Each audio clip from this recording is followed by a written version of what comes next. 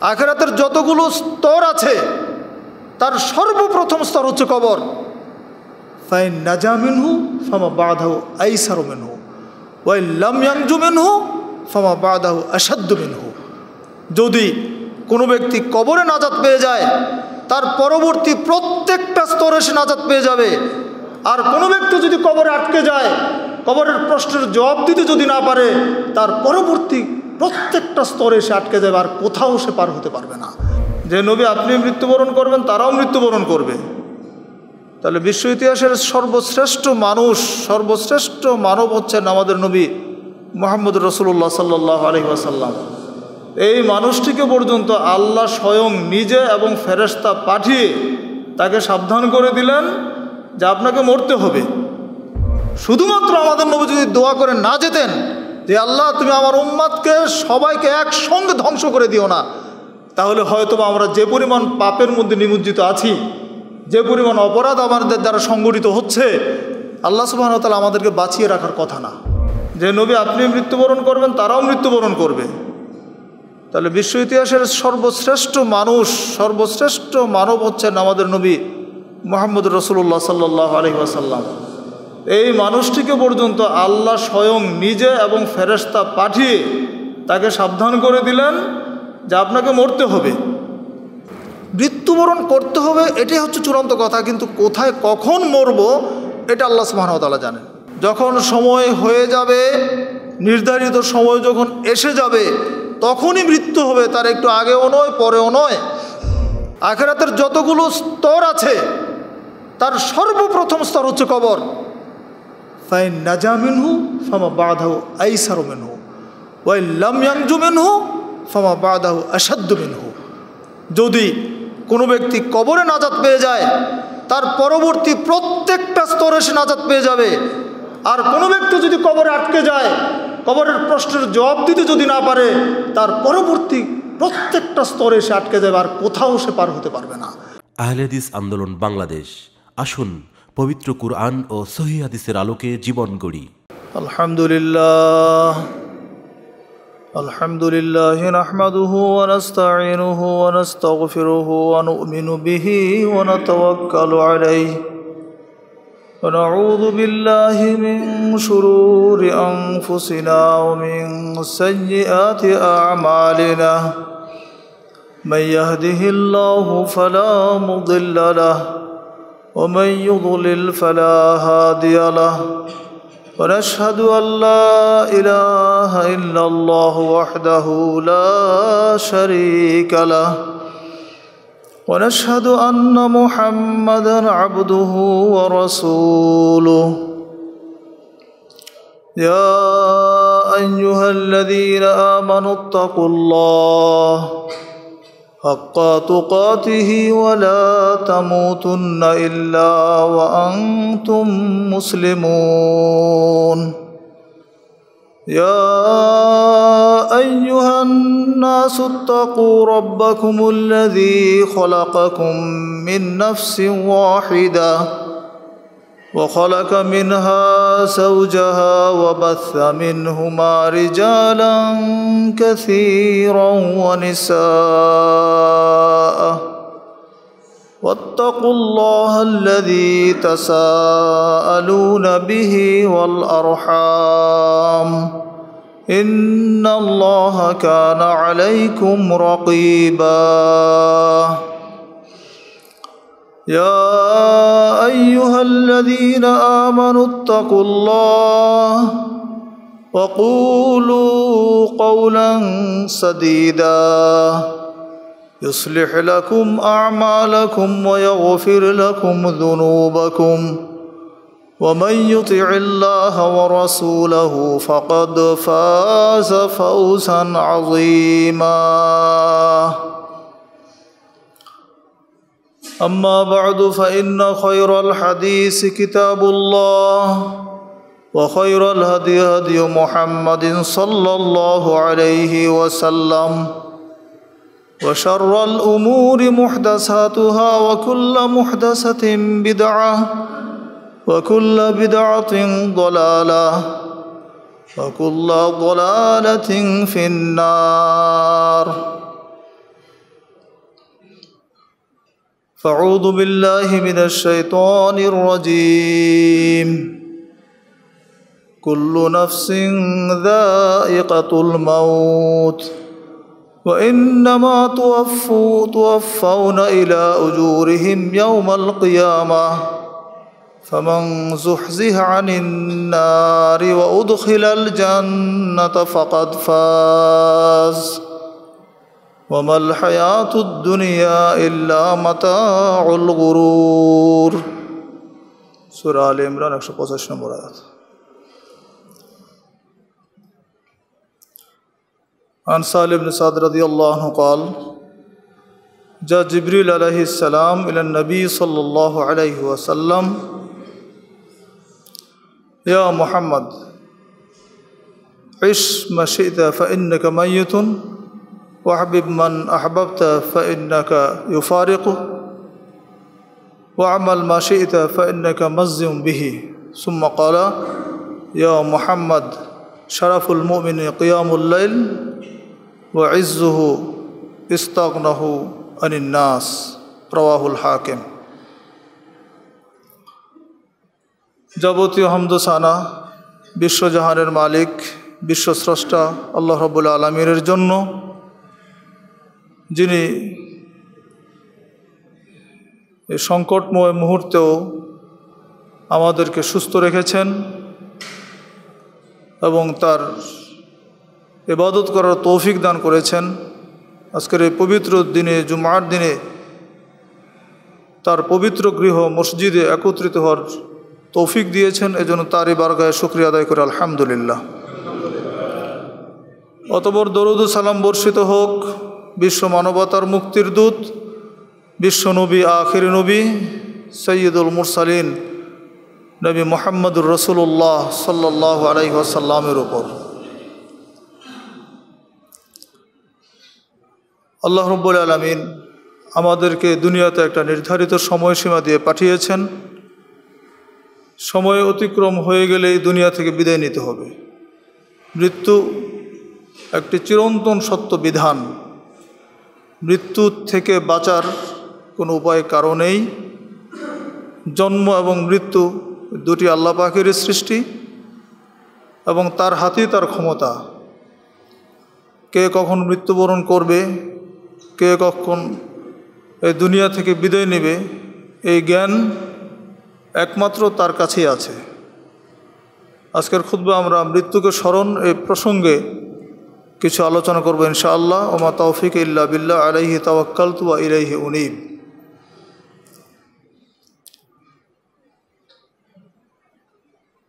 আল্লাহ রব্বুল আলমিন বলছেন, কুল্লু নফসিন একাতুল মৌত প্রত্যেক প্রাণীর, প্রত্যেক প্রাণকে মৃত্যুর স্বাদ আস্বাদন করতে হবে। প্রত্যেক যাদের প্রাণ আছে তাদেরকে একদিন এই দুনিয়া ছেড়ে চলে যেতে হবে। ওয়াইন্নামা তুয়াফাউনা ইলা ইয়ামাল কিয়ামা। আর কেয়ামতের দিন তাদেরকে ন্যাক বদলা দেওয়া বদলা দেওয়া হবে আর পুরস্কার দেওয়া হবে। কর্মফল, প্রত্যেকটা মানুষের যা কর্ম, সে কর্মের ফল সে লাভ করবে। ফামাং জুহজিহা আনিন নার বা উদখিলাল জান্না ফাকাদ ফাজ। অতবর যাকে জাহান্নাম থেকে দূরে রাখা হবে এবং উদখিলাল জান্না এবং জান্নাতে প্রবেশ করানো হবে, ফাকাদ ফাজা, ওই ব্যক্তি হচ্ছে সফল কাম। ওমাল হায়াত দুনিয়া ইল্লা মাতা উল গুরুর। আর এই দুনিয়ার জীবনটা, এই দুনিয়াটা একটা প্রতারণার বস্তু বই কিছুই নয়। একই মর্মে আরও কয়েক জায়গায় আয়াতটি এসেছে। এই আয়াতটি হচ্ছে সুরা আলী ইমরানের একশো পঁচাশি নম্বর আয়াত। সুরা আনকাবুতের সাতান্ন নম্বর আয়াত আল্লাহ বলছেন, কুল্লু নফসিন দা ইকাতুল মাউত ওয়া ইন্নামা ইলাইহি তুরজ, ওয়া ইন্নামা ওয়া ইন্নামা ইলাইনা তুরজাউন, ওয়া ইলাইনা তুরজাউন। প্রত্যেক প্রাণী মৃত্যুর স্বাদ গ্রহণ করবে। আর আমাদের দিকেই তোমাদেরকে প্রত্যাবর্তন করতে হবে। সুম্মা ইলাইনা তুরজাউন। আমাদের কাছে তোমাদেরকে ফিরে আসতে হবে। একইভাবে সুরা আম্বিয়া মধ্য সুরা আম্বিয়া তো আল্লাহ সুবাহতালা বলছেন, কুল্লু নফসিং দ্য একাতুল মাউত ওয়া নাবলুকুম মিনাল মিনাল শারি ওয়াল খাইরি ফিতনা ওয়া ইলাইনা তুরজাউন। এখানে আরেকটু কথা যোগ করে দেওয়া হয়েছে যে প্রত্যেক প্রাণকে মৃত্যুর স্বাদ গ্রহণ করতে হবে। নাবলুকুম বিল খাইরি ফিতনা। আর আমি তোমাদেরকে পরীক্ষা করব মন্দ এবং ভালো দিয়ে। এলাইনা তুরজাউন, তোমাদেরকে আমার কাছেই ফিরে আসতে হবে।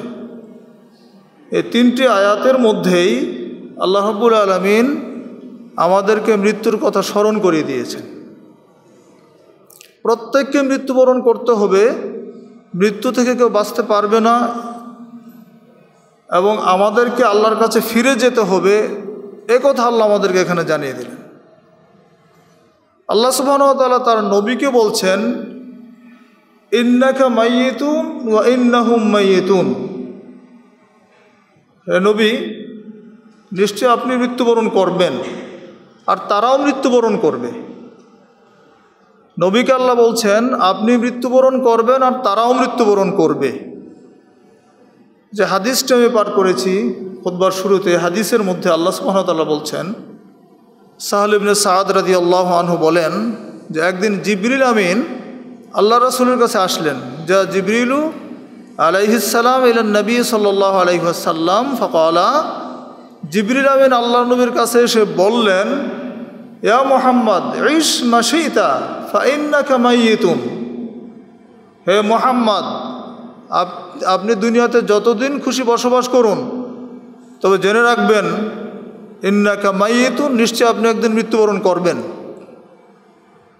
হাবিব পান আর আপনি যাকে খুশি আপনি পছন্দ করেন, যাকে খুশি আপনি মহাব্বত করেন, কিন্তু একদিন আপনি তাকে ছেড়ে যাবেন। ওয়ামাল মা ইতা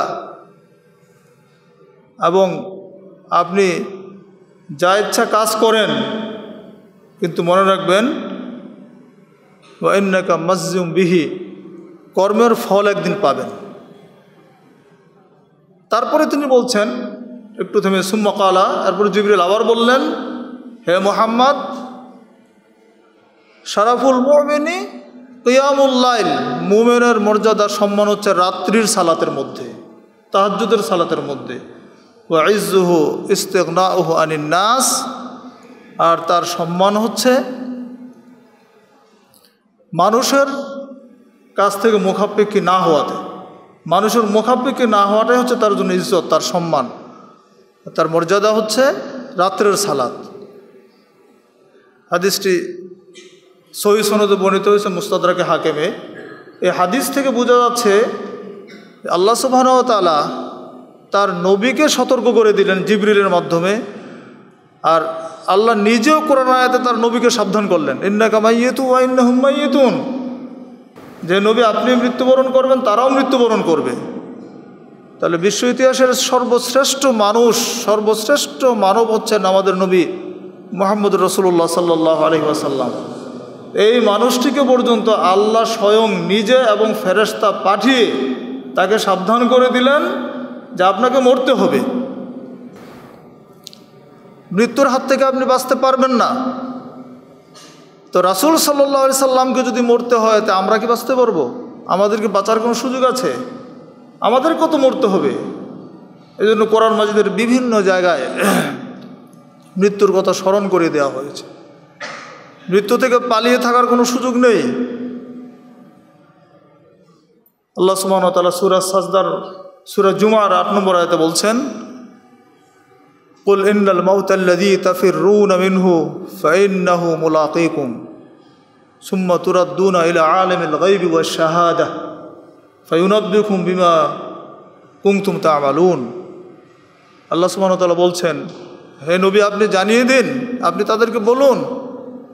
ইন্নাল মাউতাল্লাদি তাফিরুনা মিনহু। নিশ্চয় মৃত্যু থেকে তোমরা যে পালিয়ে আর থাকছো, মৃত্যু থেকে পলায়ন করছ। ফাইন্নাহু মুলাকিকুম, মৃত্যু কিন্তু একদিন ঠিকই তোমাদেরকে ধরবে। যে মৃত্যু থেকে তোমরা পালিয়ে বেড়াচ্ছ, যে মৃত্যুর কথা তোমরা স্মরণ করছ না, মৃত্যু থেকে দূরে থাকছো, বাঁচার চেষ্টা করছ। ফাইন নাহু মোলাকিকুম এই মৃত্যু একদিন তোমাদেরকে অবশ্যই গ্রাস করবে, মৃত্যু তোমাদেরকে অবশ্যই ধরবে। সুম্মা তুরাদ্দুন আইলা আলিম গাইব ও শাহাদা, অথবা তোমাদেরকে ফিরিয়ে নিয়ে যাবে। কার কাছে? অদৃশ্য জ্ঞানের অধিকারী, দৃশ্যমান অদৃশ্য। সকল জ্ঞানের যিনি মালিক, সকল জ্ঞানের যিনি সম্পর্কে যিনি জ্ঞান রাখেন, সেই মহান স্রষ্টার কাছে তোমাদেরকে নিয়ে যাওয়া হবে। ফায়ুনাব্বিউকুম বিমা কুমতুম তা মালুন আর তিনি তোমাদেরকে তোমাদের কর্মগুলো জানিয়ে দিবেন। দুনিয়াতে তোমরা যে কর্ম করেছিলে, ভালো, মন্দ, ন্যায়, অন্যায়, নেকি, গুনাহের যত আমল তোমরা করেছিলে সেইগুলো তিনি তোমাদেরকে জানিয়ে দিবেন, তোমাদের কাছে বর্ণনা করবেন। আমল নাম আমাদের সামনে দেওয়া হবে এবং আমাদেরকে পড়তে বলা হবে। এই আয়াতগুলো আমরা আগেও শুনেছি, জানি। তো এই আয়াত থেকে বোঝা যাচ্ছে যে মৃত্যু থেকে পালিয়ে থাকার কোনো সুযোগ নেই। মৃত্যু একদিন আমাদেরকে ধরবে। যতই পালিয়ে যাই, মৃত্যু ঠিকই আমাদের কাছে আসবে। শুধু তাই না আল্লাহ সুহামতাল্লাহ সুরা নিসার আটাত্তর নম্বর আয়তে বলছেন আইনামা তাকুন ইউদ্রিক কুমুল মৌত ওয়ালাউ কুমতুম ফি বুরুজি মুসাইয়াদা তোমরা যেখানেই থাকো, সেখানেই তোমাদেরকে মৃত্যু গ্রাস করবে। আইনামা তাকুন ইউদ্রিক কুমুল মাউত। ওয়ালাউ কুমতুম ফি বুরুজি মুসাইয়াদা। যদি তোমরা কোনো সুদৃঢ় দুর্গ নির্মাণ করে, তার ভিতরে অবস্থান করো যে মৃত্যু সেখানে যেতে পারবে না। সেখানেও মৃত্যু হাজির হবে, তোমাদেরকে মৃত্যু ধরবে। আইনামা তাকুন ইউদ্রিকুমুল মাউত মাউত ওয়ালাউ কুমতুম ফি বুরুজিম মুসাইয়াদা। আল্লাহ সুবাহতাল আরও স্পষ্ট করে আমাদেরকে সাবধান করে দিলেন, তোমরা মৃত্যু থেকে বাঁচার জন্য যত চেষ্টাই করো। সুদৃঢ় দুর্গ নির্মাণ করে যদি তার ভিতরে অবস্থান করো, যে মালাকুল মত আমাকে দেখতে পাবে না, টের পাবে না, সেখানে গিয়েও মৃত্যু তোমাকে ধরবে। অর্থাৎ মৃত্যু একটা চিরন্তন বিধান, এই মৃত্যু থেকে বাঁচার কোনো উপায় নেই। মৃত্যুবরণ আমাদেরকে করতেই হবে। এই পৃথিবীর সকল স্বাদ বিনষ্ট করে দেয় মৃত্যু। রসুল্লাহ সাল্লাহ আলহি আসাল্লাম এই জন্য বলছেন, আকফিরু দিকরা হাদিমিল্লাদ তোমরা অধিক স্বাদ বিনষ্টকারী বস্তুটিকে বেশি বেশি স্মরণ করো। অর্থাৎ মৃত্যুকে বেশি স্মরণ করো যে মৃত্যু তোমার দুনিয়ার সকল স্বাদ বিনষ্ট করে দিবে। দুনিয়ার সকল আরাম আয়াসকে ধ্বংস করে দিবে। দুনিয়ার সকল সকল ভোগ বিলাসকে শেষ করে দিবে। দুনিয়ার সকল মহাব্বতকে চূর্ণ করে দিবে। দুনিয়ার সৎ সব আপনজন থেকে বিচ্ছিন্ন করে তোমাকে আখারাতে নিয়ে যাবে। পাশেই তো কবরে সাহিত থাকবে, কিন্তু কেউ তোমার খবর জানবে না। কেউ তোমার সম্পর্কে কোনো খবর দিতে পারবে না এবং তুমিও কিছু জানাতে পারবে না। হ্যাঁ এখন আমাদের মধ্যে এমন কিছু মানুষ আছে, কবরের কাছে যায়, কবরের কাছে চায়, সেখানে গিয়ে করে, মাথা নত করে, যাবতীয় চাওয়া পাওয়া কবরের কাছে নিবেদন করে। তারা মনে করে যে কবরবাসীর অনেক ক্ষমতা আছে। সে সব কিছু শুনতে পায় সব কিছু জানে, আমার কল্যাণ, অকল্যাণ সম্পর্কে তার ক্ষমতা আছে। এ ধরনের ভ্রান্ত আকিদা নিয়ে এক শ্রেণির মানুষ কিন্তু কবরে মাজারে যাচ্ছে। মাজারে গিয়ে অনেক টাকা পয়সা দিচ্ছে, সিজদা করছে। এবং তারাও কিন্তু মুসলমান। তারাও পাশত সালাত আদায় করে, তারাও হজ করে, তারা রমাজার মাসে সিয়াম রাখে। দুর্ভাগ্য তারা এই আয়াতগুলো জানে না। আল্লাহ তালা তার রাসুলকে বলছেন ইন্নাকালা তুসমিউল মাউতা। নবী হে, আপনি কবরবাসীকে কিছু শোনাইতে পারবেন না, মৃত ব্যক্তিকে কিছু শোনাতে পারবেন না। তাহলে রাসুল সাল্লাহ আলহিহাসাল্লাম যদি মৃত ব্যক্তিকে শোনাতে না পারেন, তাহলে আজকের যুগে আমরা পারব? আমাদের সেই ক্ষমতা আছে। আল্লাহ নবী যদি কোনো মাইয়তকে কিছু শোনাতে না পারেন আর পৃথিবীর এমন কোন মানুষটা আছে যে মৃত ব্যক্তিকে শোনাতে পারবে বা তার উপকার করতে পারবে? এগুলো হচ্ছে স্পষ্ট শিরিক। এই শিরকের গোনা কিন্তু আল্লাহ ক্ষমা করবেন না তবা না করলে। তার মৃত্যুবরণ করতে হবে চূড়ান্ত, এটাই হচ্ছে ঠিক। আর মৃত্যুটা আমাদের জন্য নির্ধারিত একটা সময়। আল্লাহ সুবাহতাল্লাহ লিখে রেখেছেন মৃত্যু।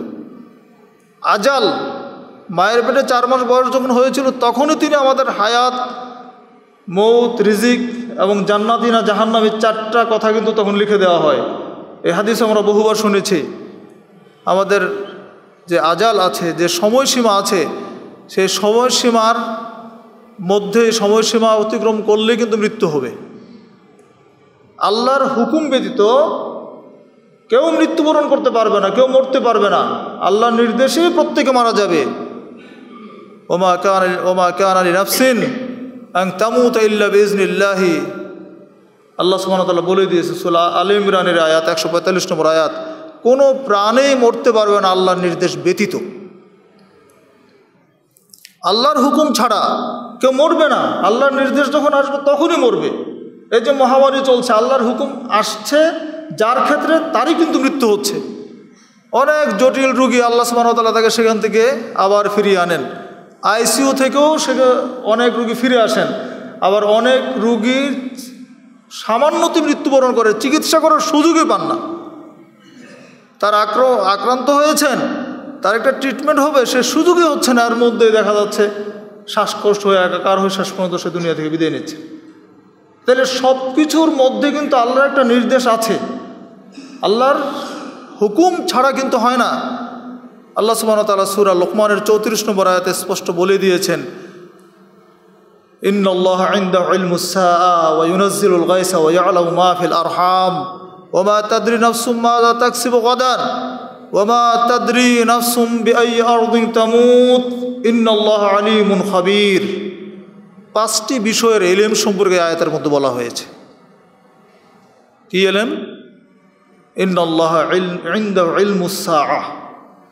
নিশ্চয় আল্লাহ যার কাছে রয়েছে কেয়ামতের জ্ঞান।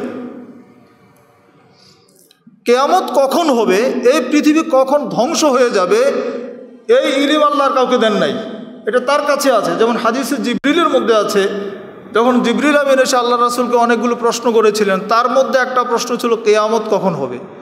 তো উত্তরে রাসুল সাল্লাহ বলেছিলেন, মাল মাসুল উবি আমিনা সায়েল যে এ বিষয়ে প্রশ্নকৃত ব্যক্তি প্রশ্নকারীর চাইতে বেশি জানেন না।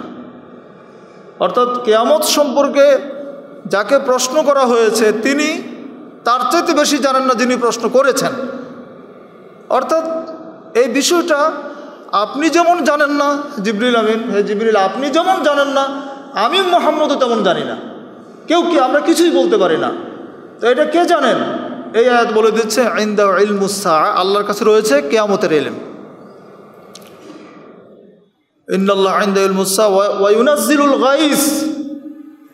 কোথায় বৃষ্টি দিবেন? বৃষ্টি বর্ষণ হবে। তিনি বৃষ্টি বর্ষণ করেন। ওয়াইনাজিলুল গাইসা, অর্থাৎ তিনিই বৃষ্টি দেন। তার বৃষ্টি দেওয়ার মালিক হচ্ছেন আল্লাহ। কোথায় দিবেন? কোন জমিনে দিবেন? সেটা আল্লাহ সুমনতালা জানেন। কোন এলাকায় বৃষ্টি হবে? এই বৃষ্টি কীভাবে দিচ্ছেন? আল্লাহ সেই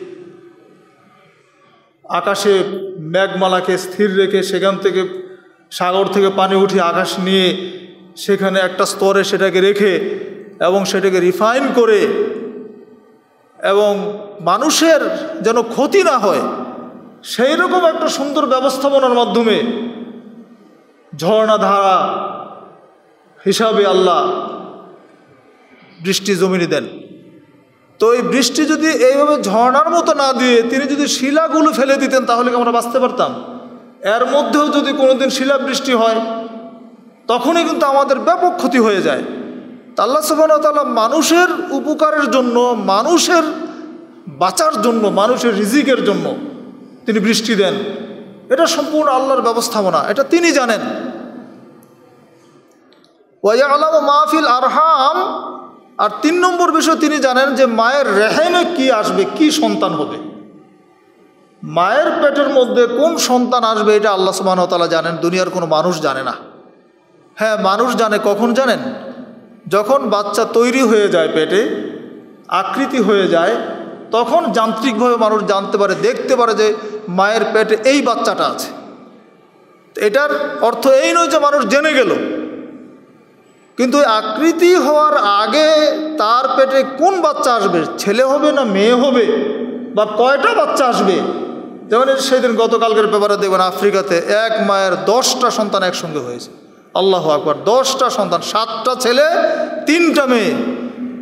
এবং সে গেনিজ রেকর্ড আগের রেকর্ড ছিল, আটজন না নজন সেটা ভঙ্গ করে সে এখন মানে সেই রেকর্ডভুক্ত হয়েছে গেনিজ রেকর্ড বুকে তাহলে দশটা সন্তান একটা মায়ের পেটে একসঙ্গে হওয়া, একসঙ্গে দশটা সন্তানকে পেটের মধ্যে ধারণ করা, এটা কি চারটিখানি কথা মনে করেন? আমাদের মায়েরা তো একটা সন্তান পেটে রাখতেই অনেক কষ্ট, অনেক জ্বালা যন্ত্রণা, অনেক অসুবিধা ভোগ করেন। তাহলে দশটি সন্তান একটা গর্ভে একসঙ্গে থাকা, এটাও কিন্তু আল্লাহ পাকের একটা বিশেষ অনুগ্রহ, বিশেষ রহমত। একটু চিন্তা করলে কিন্তু আমরা আল্লাহকে এখানে খুঁজে পাই। এবং সেই দম্পত্য এখন মহা খুশি। দশটা সন্তানের মা। আমাদের মধ্যে অনেক মায়েরা এতে স্বাচ্ছন্দ্য বোধ করেন, আগ্রহ করেন যে আমার যদি যমজ সন্তান হতো বা দুইটা, তিনটা হতো, এটা অনেক মায়েদের মধ্যে কিন্তু এই আগ্রহ আছে। আর অধিক সন্তানের একটা বরকত আছে। সন্তান দান করার যে নেকি একটা মা পান, একটা সন্তানের যত নেকি পাবেন, সেই নেকি তো ইবাদত দিয়ে কুলাইতে পারবে না। সহজ ব্যাপার না। মায়া মানে সন্তানকে পেটে ধারণ করা, সন্তান প্রসব করা, সন্তান লালন পালন করা, এটা একটা মায়েদের একটা বিশেষ মর্যাদা, বিশেষ নেকির ব্যবস্থাপনা আল্লাহ এখানে করে রেখেছেন। তাহলে আল্লাহ সুবাহতাল্লাহ বলছেন, আল্লাহ জানেন মায়ের রেহেমের মধ্যে কি আছে, কোন সন্তান হবে, এই ইলিমটা আল্লাহ দুনিয়ার কোনো মানুষকে দেন না, এটা একমাত্র আল্লাহর কাছে আছে। চার নম্বর এলেম হচ্ছে অমা তাদরি নফসুম মাজা তাকসিব গদা আগামীকাল তুমি কি উপার্জন করবে? এইটা আল্লাহ ছাড়া কেউ জানে না। হ্যাঁ আপনি হয়তো ভাববেন যে হ্যাঁ আমি তো অটো চালাই, কালকে তো অটোই চালাবো। বা আমি রিক্সা চালাই, কালকে তো রিক্সা চালাবো। আজকে পাঁচশো টাকা ইনকাম করেছে কালকেও না পাঁচশো বা ছয়শো হবে। কিন্তু আপনি কি জানেন কালকে আপনি সারাদিন রিক্সা চালাতে পারবেন কি না আপনি কি জানেন কালকের হায়াত আপনার আছে কি না আপনি কি জানেন কালকে আপনার রিক্সায় কে কে উঠবে? কয় টাকা কামাই করতে পারবেন? কিছুই জানেন না। আল্লাহ সুমনতাল্লাহ বলে দিয়েছেন, ওমা তাদ্রি নফসুম মাদা তাকসিব গদা। আগামীকাল কি উপার্জন করবে? কি আয় করবে? এটা একমাত্র তিনি জানেন। আর পাঁচ নম্বর তিনি জানেন, ওমা তাদ্রি নফসুম বি আই আরদিন তামুত। কোথায় তুমি মৃত্যুবরণ করবে? এটা আল্লাহ সুবহানাহু জানেন। কোথায় তোমার মৃত্যু হবে? কোন জমিনে তোমার মৃত্যু হবে? তুমি কি ঘরে বিছানায় শুয়ে মৃত্যুবরণ করবে? নাকি রোড অ্যাক্সিডেন্টে মৃত্যুবরণ করবে? নাকি হাসপাতালের আইসিইউতে মৃত্যুবরণ করবে? এই এলেম তো তোমাকে আমি দেই নাই। এই এলেম তো আল্লাহ কাউকে দেন নাই। এই যে গতকালকে আমাদের সৌদি আরবের আল খাবজি শাখার আন্দোলনের আল খাবজি শাখার এক দায়িত্বশীল ভাই, সাংগঠনিক সম্পাদক মিজানুর রহমান হাফেজ, তিনি ড্রাইভিং করতেন, রোড অ্যাক্সিডেন্টে মারা গেলেন। ইন্নালিল্লাহ ইহ রাজিউন। আমরা ভাইয়ের জন্য দোয়া করি, আল্লাহ যেন তাকে জান্নাতুল ফিরদাউস দান করেন এবং তাকে যেন শহীদের মর্যাদা দান করেন। আমাদের দেশি ভাই সেখানে অনেক দিন থেকে চাকরি করেন, কর্মজীবী ছিলেন, কিন্তু রোড অ্যাক্সিডেন্টে, অল্প বয়সী ইয়াং মানুষ রোড অ্যাক্সিডেন্টে মারা গেছেন। ইন্নালিল্লাহ ইহ রাজিউন। তিনি কি জানতেন যে এই সময় রোড অ্যাক্সিডেন্ট করে তিনি মৃত্যুবরণ করবেন? আবার আমাদের আর ভাই গত কয়েক বছর আগে রোড অ্যাক্সিডেন্ট করে অনেক দিন অজ্ঞানী ছিলেন, কিন্তু আল্লাহ সুবাহতাল্লাহ তার হায়াত রেখেছেন, তিনি সুস্থ হয়েছেন, আবার তিনি কর্ম করছেন। তাহলে এই এলেমটা, এই জানাটা কার কাছে? আল্লাহর কাছে না? তিনি জানেন। কে কখন কোথায় মৃত্যুবরণ করবে? তাহলে মৃত্যুবরণ করতে হবে, এটাই হচ্ছে চূড়ান্ত কথা, কিন্তু কোথায় কখন মরব, এটা আল্লাহ সুবাহতাল্লাহ জানেন। নির্ধারিত সময় যখন হয়ে যাবে তখনই মারা যাব। আল্লাহ সুবাহতাল্লাহ সুরান নাহারের একষট্টি নম্বর আয়াতে বলছেন, ফাইদা জা যখন সময় হয়ে যাবে, নির্ধারিত সময় যখন এসে যাবে, তখনই মৃত্যু হবে, তার একটু আগেও নয়, পরেও নয়। মৃত্যুবরণ করতে হবে, মৃত্যু থেকে বাঁচার কোনো উপায় নেই। পৃথিবীর যত বড় বড় ক্ষমতাশালী ব্যক্তিরা ছিল, যত আল্লাহর নাফরমান বড় বড় ব্যক্তি যারা ছিল, রাজা বাদশারা ছিল নাম করা যারা ছিল, আমরা, আপনারা জানেন, ফেরাউনের কথা জানেন, নমরুদের কথা জানেন, হামানের কথা জানেন, কারুনের কথা জানেন, তারা শত শত বছর হায়াত আল্লাহ তাদেরকে দিয়েছিলেন। কিন্তু তারা কেউ দুনিয়াতে থাকতে পারে নাই। কারণ তো বিশাল অর্থ সম্পদশালী ছিল, ধনী মানুষ ছিল। এত ধনী ছিল যে তার শুধু খাদ্য গুডাউনের চাবিগুলো বহন করার জন্য একদল মানুষের প্রয়োজন হতো। আল্লাহ কোরআন মজিদে বিস্তারিত আলোচনা আছে। একদল কর্মচারী লাগতো শুধু তার খাদ্য গুদামের চাবিগুলো বহন করার জন্য। তার ধ্বংস কীভাবে হলো? সে একদিন খুব সাজসজ্জা করে একবারে সেজে গুজে তার ঘর থেকে বের হয়েছে, তার প্রাসাদ থেকে বের হয়েছে, রাস্তায় যাচ্ছে। মানুষ বলছে তাকে কিন্তু সাধারণ মানুষ আল্লাহর কথা স্মরণ করিয়ে দিচ্ছে। তুমি আল্লাহকে স্মরণ করো। এই যে বিশাল সম্পত্তির মালিক তুমি হয়েছ। সে বলছে জানেন? যে এগুলো তো পেয়েছি আমি, আমার এলেম দ্বারা অর্জন করেছি। এই টাকা পয়সা তো আল্লাহ আমাকে দেয় নাই। এটা তো আমার জ্ঞান জ্ঞান অর্জন করেছে। আমার বিদ্যা দিয়ে আমি আমি জ্ঞানী, আমি ব্যবসা করতে জানি, ব্যবসা শিখেছি, রোজগার জানি। এই জন্য আমি আমার জ্ঞান দিয়ে এটা অর্জন করেছি। এখানে আল্লাহর কিসের কৃতিত্ব আছে? এত বড় নাফরমানের কথা বলার পরে আল্লাহ সহ্য করে, আল্লাহ সুবাহতাল্লাহ তাকে তার প্রাসাদ, তার ধন সম্পদ যা ছিল, খাদ্য, গুডাউন যা ছিল, সবগুলো সহ একবার মাটির নিচে দাবিয়ে দিলেন। কারণ শেষ। মৃত্যুর এই চিরন্তন বিধান থেকে বাঁচার কোনো পথ নেই। নমরুদ ফেরাউনের কথা তো জানেন, সে সাগরে ডুবে মারা গেল। খুব মাতব্বরি করেছিল। কিন্তু যখন একবারে মানে পানিতে ডুবু ডুবু অবস্থা, তখন ইমান আনছে মুসার রবের প্রতি। যে এখন আমি মুসার রব, মুসা হারুনের রবের প্রতি ইমান আনলাম। আল্লাহ বলছেন, এখন তুমি এই কথা বলছো? তো মৃত্যুর সময় কথা বললে হবে? হবে না। সম্মানিত দিনী ভাইয়েরা, তাহলে বোঝা যাচ্ছে মৃত্যুবরণ আমাদের করতেই হবে। তো এই মৃত্যুটা আল্লাহ সুবাহতালা কেন আমাদেরকে মৃত্যু দিলেন? হায়াত দিলেন এবং মৃত্যু দিলেন। কারণটা কি? আমাদের কি কোনো কর্ম আছে এখানে না এমনিতেই? আল্লাহ সুবাহতাল্লাহ সুরা মুলকের দুই নম্বর আয়তে বলে দিয়েছেন আল্লাদি খলাকাল মৌতাল হায়াত আলিয়াবলু আকুম আইয়ুকুম আহসান আমালা। আমি হায়াত এবং মৌতকে সৃষ্টি করেছি। এই জন্য যে আমি পরীক্ষা করব, তোমাদের মধ্যে কে সর্বোত্তম আমল করে? তোমাদের মধ্যে কে সবচেয়ে ভালো আমল করে? সর্বোত্তম আমল করে কে? নেকির কাজ করে কে? এইটা আমি পরীক্ষা করব। এই জন্য আমি হায়াত এবং মৃত্যুকে সৃষ্টি করেছি। খুব সহজ উত্তর হয়ে গেল। এখন নেকি করলে আল্লাহ সুবাহতালা অনেক সুযোগ আমাদেরকে দিয়েছেন। যেমন রাসুল করিম সাল্লাহ সাল্লাম বলেছেন, ইদা আহসান আহাদুকুম ইসলামাহু ফাকুল্লু হাসানাতিন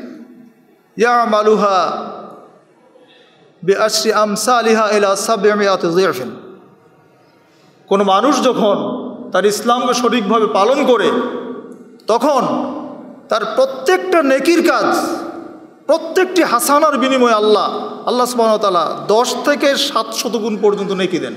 সোহান আল্লাহ ওয়াকুল্লু সাইয়াতিন তুক্তাবু বিমিসলিহা।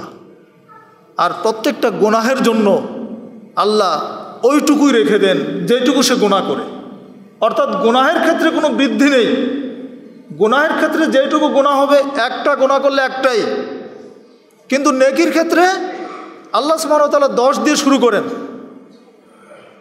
তুক্তাবুলাহু বিয়াসটি আমসালিহা ইলা সাবিমিয়াতিফিন দশ থেকে নিয়ে সাতশত গুণ পর্যন্ত বেশি করেন। কিন্তু সিয়ামের ক্ষেত্রে এটা তো আর একটা হাদিস জানেনি সবাই, এটা ভিন্ন। সিয়াম কিন্তু এর চাইতে আরও বেশি। সিয়াম, এই ফ্রেমে আল্লাহ সিয়ামকে বাঁধেন না। আল্লাহ বলছেন, এটা এর চাইতে অনেক বেশি। তাহলে নেকির একটা সুযোগ আল্লাহ দিয়েছেন এখানে, বেশি। অর্থাৎ আল্লাহ সুবাহতাল্লাহ চান যে তার বান্দারা যেন জান্নাতে যায়। জাহান্নাম থেকে যেন বাঁচতে পারে, এটা কিন্তু আল্লাহর একটা বিশেষ চাওয়া। এই জন্য নেকির ক্ষেত্রে তিনি এটা করেছেন। সোভার আল্লাহ তারপরে দেখুন। এখন যখন আমাদের মৃত্যুর সময় এসে যায়, তখন এবার আমরা এবার আল্লাহর কাছে বলতে থাকি, ফয়াকুল রব্বিল আখর তানি আজালিং করিব ফাসদ্দাকু আকুম মিনাসলিহীন যারা বেঈমান, যারা কাফের, দুনিয়াতে ইবাদত বন্দী করে না, অবহেলায় কাটিয়ে দেয়। তারা মৃত্যুর সময় বলবে, লাউলা আখর তানি আজালিম করিব হে আল্লাহ, আমাদেরকে আরও কিছুদিন সময় দাও। ইলা আজালিন করিব, সামান্য কিছু সময় তোমার কাছে চাই। ফাস সদ্দাকা আখুম মিনা সলেহীন। রব্বুল আলমিন, আমি সাদাকা করব এখন থেকে। আমি আখুম মিনা সলেহীন, আমি সৎকর্মশীলদের অন্তর্ভুক্ত হয়ে যাব। আমি ন্যাক্কার বান্দাদের অন্তর্ভুক্ত হয়ে যাব। গোনা খাতা থেকে বেঁচে থাকব, পাপের কাজ আর করব না, আল্লাহ। এখন আমাকে একটু সময় দাও।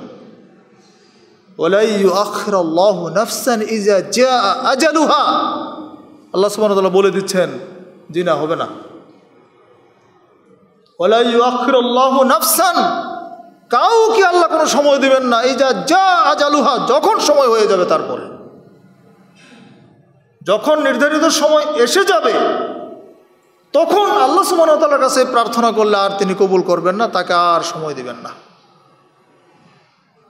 তাহলে এই যে একটা সময় আল্লাহ আমাদেরকে দিয়েছেন, এই সময়টা একটা অজানা সময় এটার কোনো এলেম আমাদের কাছে নেই যদি মনে করি যে আজকে তো যৌবন কাল চলছে, যুবক আছি, একটু বয়স হোক, তারপর থেকে বদ শুরু করব।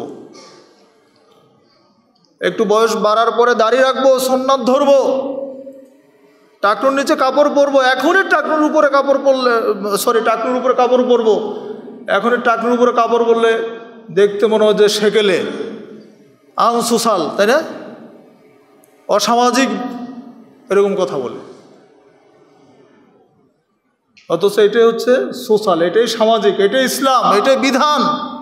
দুর্ভাগ্য আছে, মেয়েদের পোশাক হয়ে যাচ্ছে খাটোর, ছেলেদেরটা হচ্ছে লম্বা। মেয়েদের পাজামা টাকনুর উপরে, আর ছেলেদের প্যান্ট টাকনুর নিচে। তাহলে সোননাথ ছেলেদেরটা মেয়েরা নিয়েছে নামুজবিল্লা হওয়ার কথা ছিল উল্টা। কিন্তু আমরা চলছি উল্টা। শরীয়তের উল্টা স্রোতে আমরা চলছি। এই জন্য তো আমাদের উপর বিপদ আপদ আসে। এই জন্য তো আমাদের উপর আল্লাহর পক্ষ থেকে আসমানি বালা মুসিবত গজব আসছে। মহামারী তো আর এমনি আসে নাই। আল্লাহ সুমানতাল্লাহ বলেই দিয়েছেন, জহর আল ফাসাদ ফিল বার্রি আল বাহারি বিমা কাসাবাত দিন নাস। জলে ও স্থলে বিপর্যয় ছড়িয়ে পড়েছে তোমাদের কৃতকর্মের জন্য। তোমাদের কর্মের কারণে আল্লাহ আজাব দিচ্ছেন, শাস্তি দিচ্ছেন, গজব দিচ্ছেন।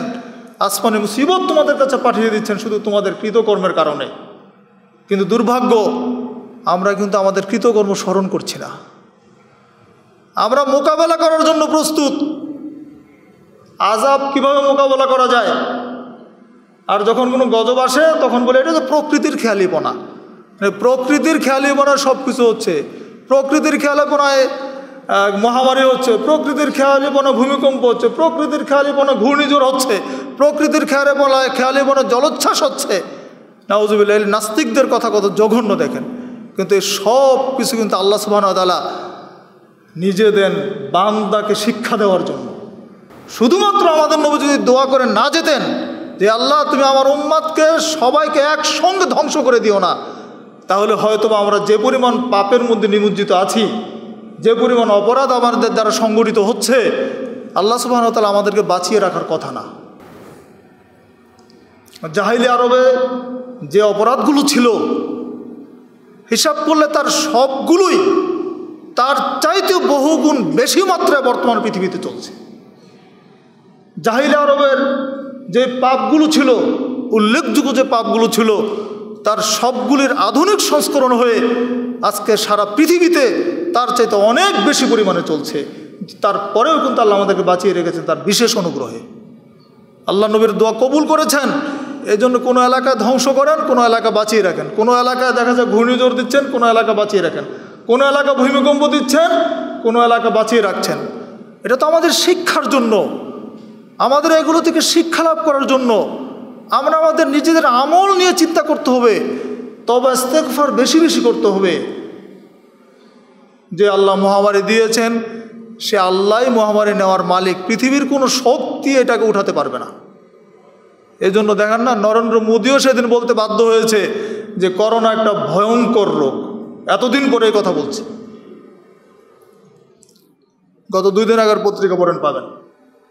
এখন বলছেন, করোনা একটা ভয়ঙ্কর রোগ। বিশ্বের বড় বড় যারা খ্রিস্টান, ইহুদি বা অমুসলিম বড় বড় যারা রাজনীতিবিদ, তারা পর্যন্ত মাথা নত করতে বাধ্য হচ্ছে এখানে এসে। দুর্ভাগ্য মুসলমানরা আমরা শিক্ষা গ্রহণ করতে পারছি না। আমাদের অভ্যাসটা পরিবর্তন হচ্ছে না। আমাদের আমল বেশি হচ্ছে না। আমরা এখনও তাহাজুদের সালাদ শুরু করি নাই। আমরা এখনও নফল সিয়াম শুরু করি নাই। আমাদের তো বেশি বেশি নফল সিয়াম রাখা উচিত। সোমবার, বৃহস্পতিবার আইয়ামে বীজের সিয়ামগুলি অন্তত প্রত্যেকেরই রাখা উচিত। এটা তো নেকির দিক থেকে তো অনেক বেশি আছেই। তারপরও নিজের শারীরিক অনেক উপকার হবে যদি আপনি সপ্তাহে দুই দিন সিয়াম রাখতে পারেন।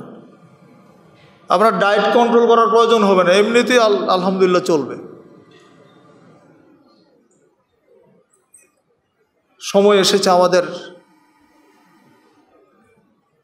একটু অনুভূতিকে প্রশ্ন করার, নিজেদেরকে জিজ্ঞেস করার, আমাদের আমলের খাতাটার দিকে একটু তাকানো আমাদের দরকার। আমাদের কর্মগুলো কি ছিল অতীতে? সেগুলো নিয়ে একটু ভাবা দরকার আমাদের। যদি আমরা ভাবতে পারি, সত্যিকার অর্থ যদি আমরা আর রুজুইল আল্লাহ আল্লাহর দিকে ফিরে যেতে পারি, তাহলে মহামারী আমাদের জন্য কল্যাণ। মহামারী আল্লাহর গজব মোমেনদের জন্য কিন্তু পরীক্ষা, আর কাফেরদের জন্য আজাব এটা কিন্তু জানেন আপনারা। যারা অমুসলিম, যারা কাফের মুশিক তাদের জন্য হচ্ছে এটা আজাব কিন্তু মুসলমানদের জন্য কিন্তু এটা পরীক্ষা। এই পরীক্ষা আমাদের উন্নীত হতে হবে, উত্তীর্ণ হতে হবে। কী দিয়ে উত্তীর্ণ হব? এই পরীক্ষা উত্তীর্ণ হতে হবে আমাদেরকে আমল দিয়ে। এই পরীক্ষা উত্তীর্ণ হতে হবে আমাদেরকে এখলাস দিয়ে। এই পরীক্ষা উত্তীর্ণ হতে হবে আমাদেরকে আল্লাহর কাছে তবা ফারের মাধ্যমে। যত বেশি আমরা তবা ফার করতে পারব, যত বেশি আমরা আল্লাহর সান্নিধ্যে যেতে পারব, তত বেশি আমাদের জন্য কল্যাণ হবে এবং আল্লাহ সুবাহতালা এই বিপদ থেকে আমাদেরকে রক্ষা করবেন ইনশা আল্লাহ এই আশা আমরা আল্লাহর কাছে করতে পারি। সম্মানিত মুসল্লিবৃন্দ, তাহলে মৃত্যুকে স্মরণ আমাদের করতে হবে। মৃত্যুর কথা সবসময় যেন স্মরণে থাকে। আল্লাহ সুবাহতাল্লাহ তার নবীকে স্মরণ করে দিয়েছেন। জিব্রিল আমিনকে পাঠিয়ে স্মরণ করে দিয়েছেন। নিজে সরাসরি আয়াত নাজিল করে স্মরণ করে দিয়েছেন। ইন্নাকা মাইয়েতু মাইয়েতুন। নবী তুমি মরবে, তারাও মরবে। জিবরিল আমিন এসে বললেন নবী মোহাম্মদ, আপনি দুনিয়াতে যতদিন ইচ্ছা বসবাস করুন, কিন্তু আপনি জানবেন যে আপনাকে একদিন মরতে হবে। কত কঠিন কথা চিন্তা করেন। জিবরিল আমিন এসে আল্লাহ নবীকে বলছেন ইসমা সীতা ফাইন্না কামাইয়েতুন নবী, আপনি দুনিয়াতে যতদিন খুশি আপনি চলাফেরা করেন, বসবাস করেন, কিন্তু ইন্না কামাইয়েতুন আপনাকে মরতে হবে একদিন।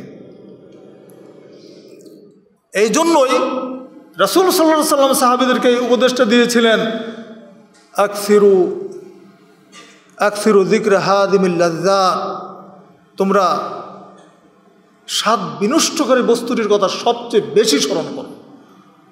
স্বাদ বিনষ্ট করে সবচেয়ে বেশি যে, সে যে জিনিসটি, এটার নাম হচ্ছে মৃত্যু। মৃত্যু ছাড়া অন্য কোনো জিনিস মানুষের চাহিদা শেষ করতে পারে না।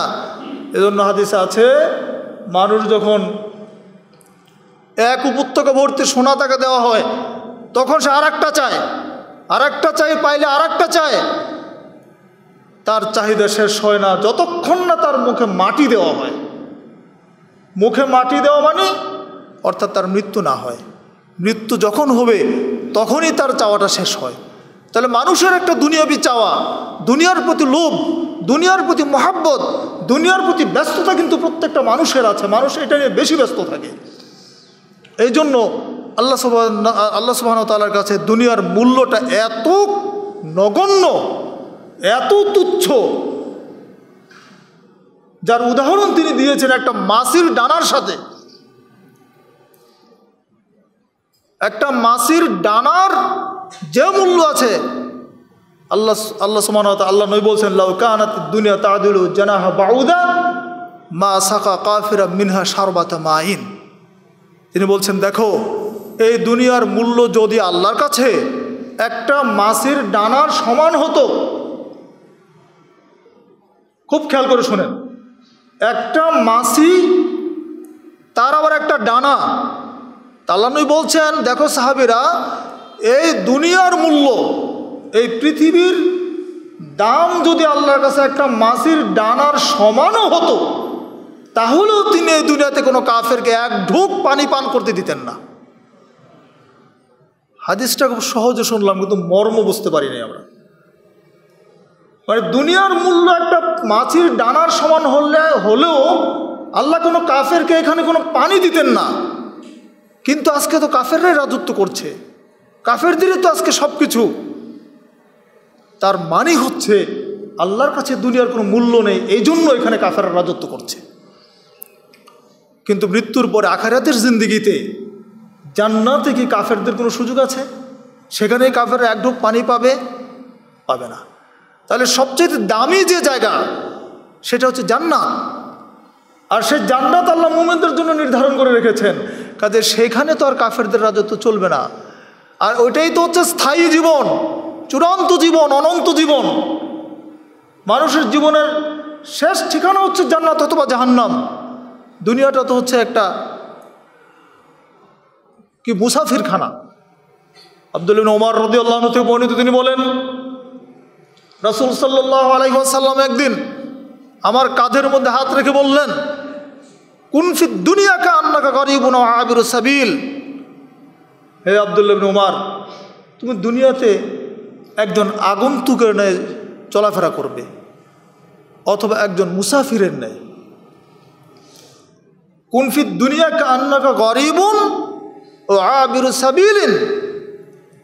আবদুল্লাবিন উমার একজন বিখ্যাত সাহাবি উমর রদুল্লাহনুর ছেলে, তার কাঁধের মধ্যে নবী হাত রেখে উপদেশ দিচ্ছেন, হে আবদুল্লাবিন উমার, দুনিয়াতে তুমি একজন আগন্তুকের মতো চলাফেরা করবে অথবা একজন কিছু মুসাফিরের মতো। এই কথা শোনার পরে ওয়াকান ওয়াকান আমার ইয়াকুল ইদা আমসাইতা ফালা তান্তজারি সবাহ ওয়া ইদা আসবাহতা ফালা তান্তজারি মাসা ওয়া খুজমিন সিহাতিকালি মারদিক ওমিন হায়াতিকালি মাউতিক। আব্দুল ওমর রদি আল্লাহনের পর থেকে এই কথাগুলো বলতেন। আল্লাহ নবীর কাছ থেকে যখন এই উপদেশ তিনি পেলেন, পাওয়ার পরে তিনি এই কয়েকটা বাক্য তিনি তার সাথীদেরকে বলতেন, দেখো আমার সাথীরা খুঁজবিন ইজা আমসাইতা ফালা তান্তাজুরিল সবাহ, যখন তুমি সন্ধ্যা পেয়েছ সকাল পর্যন্ত বেঁচে থাকার তুমি আশা করবে না। ওই যে আসবাহাতা ফালা তান্তাজুরিল মাসা। আর তুমি সকাল করেছ, সকালে তুমি বেঁচে আছো, সন্ধ্যা পর্যন্ত বেঁচে থাকার তুমি আশা করবে না। ওয়াহুজমিন সিহাতিকালি মারদিক তুমি তোমার সুস্থতা থেকে অসুস্থতার জন্য পাথেও সঞ্চয় করো। ওয়ামিন হায়াতিকালি মাউতিক আর তোমার জীবন থেকে, তোমার হায়াত থেকে তুমি তোমার মৃত্যুর জন্য পাথেও সঞ্চয় করো। ছোট ছোট কয়েকটা বাক্য কিন্তু অনেক দামি কথা। সকালে বাঁচলে সন্ধ্যা পর্যন্ত বাঁচার কোনো গ্যারান্টি নেই। সন্ধ্যা বেঁচে আছো সকাল পর্যন্ত বাঁচার কোনো গ্যারান্টি নেই। তুমি তোমার সুস্থ জীবন থেকে অসুস্থতার জন্য পাথেও সঞ্চয় করো। আজকে শরীর স্বাস্থ্য ভালো আছে, ইবাদত বেশি করেন। বৃদ্ধ হয়ে যাবেন, সালাত আদায় করতে পারবেন না। সঠিকভাবে রুকু চিন্তা করতে পারবেন না। দীর্ঘ সময় কেয়াম কুহুত করতে পারবেন না, তাজবি তালিল করতে পারবেন না, ব্রেন ঠিক থাকবে না, তাজবি পড়তে পারবেন না, দোয়া করতে গিয়ে ভুল করবেন। অনেক সমস্যা হবে। কাজে এখন তুমি সুস্থ আছো, এখন তুমি যুবক আছো, তোমার ব্রেন তাজা আছে, তোমার প্রত্যেকটা কর্ম করার ক্ষমতা আল্লাহ তোমাকে দিয়েছেন, অতএব তুমি এখন ওই অক্ষম সময়ের জন্য এখনই তুমি বেশি উপার্জন করে নাও। আর একটা বলছেন নবীন হায়াতিকালে মাউতিক।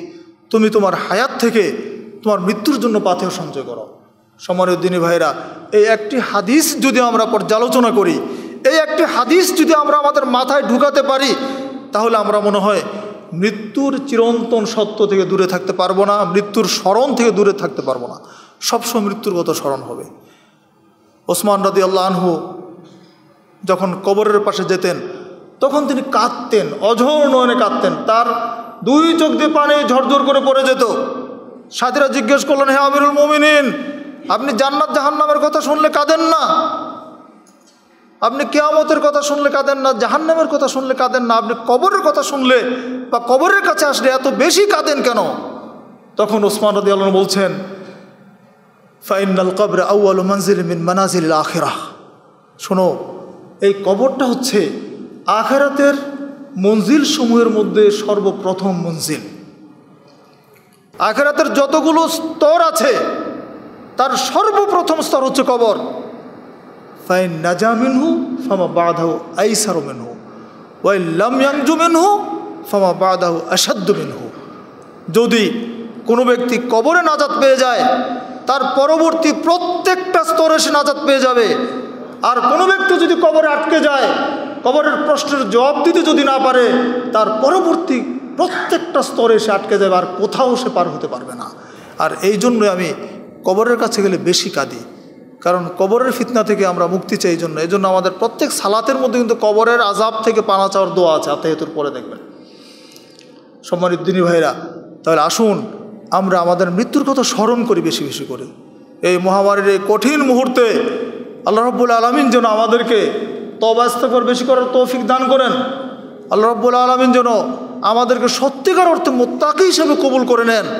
জীবনে যত ভুল করেছি, যত অন্যায় করেছি, যত পাপ করেছি, যত দুর্নীতি করেছি, অথবা মিথ্যা করে কাজ করেছি, মিথ্যা কর্ম করেছি, মিথ্যা কথা বলেছি, মানুষকে ঠকিয়েছি কত অপরাধ করেছি, হাক্কুল ইবাদ নষ্ট করেছি হাক্কুল্লা নষ্ট করেছি, তো এই সবগুলোর জন্য আল্লাহর কাছে ক্ষমা চাইতে হবে তবে ইস্তেফার করতে হবে আল্লাহ সুবাহতাল্লাহ যদি কবুল করেন, তাহলে ইনশাল্লাহ আমরা এতেই লাভবান হব।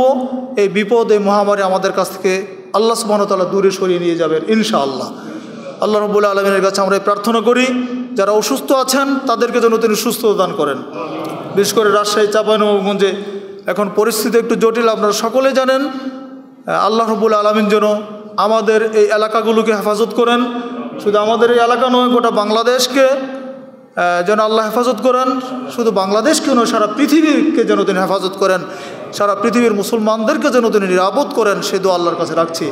আমাদের মধ্যে যারা অসুস্থ আছেন, আল্লাহ পাক তাদেরকে শেফায় কামেল দান করুন, আমিন। আল্লাহ পাক আমাদের সবাইকে সবসময় মৃত্যুর কথা স্মরণ করে আমলে সালেহ করার তৌফিক দান করুন, আমিন। আকুল কাউলি হাদা ওস্তাকফিরুল্লাহ আলী ওয়ালাকুম বলিসা ইল মুসলিমিন।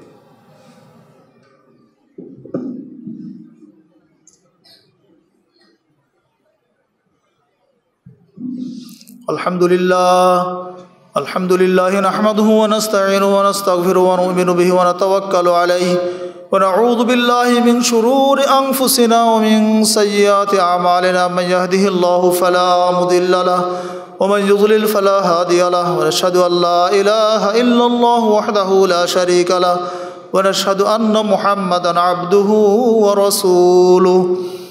أما بعد فإن خير الحديث كتاب الله وخير الهدي هدي محمد صلى الله عليه وسلم وشر الأمور محدثاتها وكل محدثة بدعة وكل بدعة ضلالة وكل ضلالة في النار. إن الله وملائكته يصلون على النبي. يا أيها الذين آمنوا صلوا عليه وسلموا تسليما.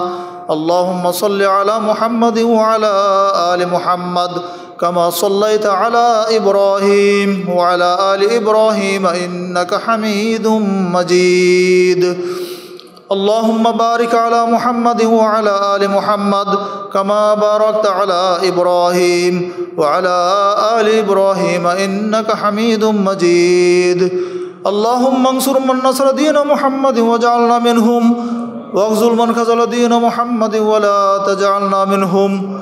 اللهم انصر, اللهم انصر من نصر دين محمد واجعلنا منهم. واغزل من خزل دين محمد ولا تجعلنا منهم. اللهم أعز الإسلام والمسلمين. واغزل الكفرة والفجرة والمبتدعة والمشركين. اللهم إنا نعوذ بك من البرص والجنون والجذام ومن سيء الأسقام. اللهم إنا نعوذ بك من البرص والجنون والجذام ومن سيء الأسقام.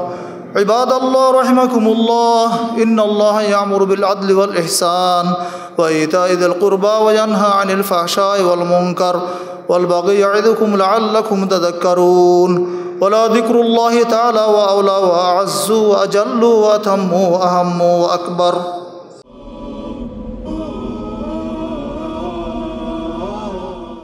জন্মিলে মরিতে হবে, অমর কে কোথা কবে? চিরস্থির কবে নীর এ অবনী পরে। ব্যস্ত পৃথিবীতে পার্থিব্য সুখ, শান্তি, লাভের আশায় প্রতিনিয়ত আমরা প্রচেষ্টা চালিয়ে যাচ্ছি। ভবিষ্যতের নানা রঙিন স্বপ্নে বিভোর হয়ে দিন রাত্রি অতিবাহিত করছি। কিন্তু এরই মাঝে চিরন্তন যে বাস্তবতার কথা আমরা ভুলতে বসেছি, তা হলো মৃত্যু। অথচ যে কোনো সময় যে কোনো মানুষকে মৃত্যুর স্বাদ গ্রহণ করতে হতে পারে। ধরাপৃষ্ঠে বহু বিষয়ে মতভেদ থাকলেও মৃত্যুর ব্যাপারে যে সকলেই একমত, তাই তো আল্লাহ রাব্বুল আলমিন আমাদেরকে স্মরণ করিয়ে দিয়েছেন, প্রত্যেক মানুষকে মৃত্যুর স্বাদ গ্রহণ করতে হবে। তিনি তার নবীকে মৃত্যুর কথা স্মরণ করিয়ে দিয়ে বলেন, হে মুহাম্মদ, যতদিন খুশি জীবনযাপন করুন, কিন্তু মনে রাখুন, আপনি মৃত্যুবরণ করবেন। নিজের মৃত্যুর কথা স্মরণ করা ও অন্যকে তার মৃত্যুর কথা স্মরণ করিয়ে দেওয়া মুমিনের অবশ্য কর্তব্য। মৃত্যুকে স্মরণ বইটি এই উদ্দেশ্যেই রচিত। সাহাবে কেরামসহ সালাফে সালেহীন দুনিয়ার এই সংক্ষিপ্ত জীবনকে কীভাবে দেখতেন, কীভাবে তারা মৃত্যুর স্মরণে হয়রান হয়ে থাকতেন, তার সংক্ষিপ্ত আলেখ্য তুলে ধরা হয়েছে আলোচ্য বইটিতে। বইটিতে আপনি মানব সৃষ্টির উদ্দেশ্য, জন্ম, মৃত্যুর রহস্য, মানব জীবনের সফরসূচি জান্নাত, জাহান্নাম, আখেরাত, বিচার দিবসের চিত্রসহ মৃত্যুকে স্মরণ করিয়ে দেওয়ার মতো আরও অনেক কিছু জানতে পারবেন ইনশাআল্লাহ। আশা করি সংক্ষিপ্ত পরিসরে এ বইটি পাঠকের হৃদয়কে আন্দোলিত করবে। পরকালীন প্রস্তুতির পথে কিছুটা হলেও সহায়ক হবে।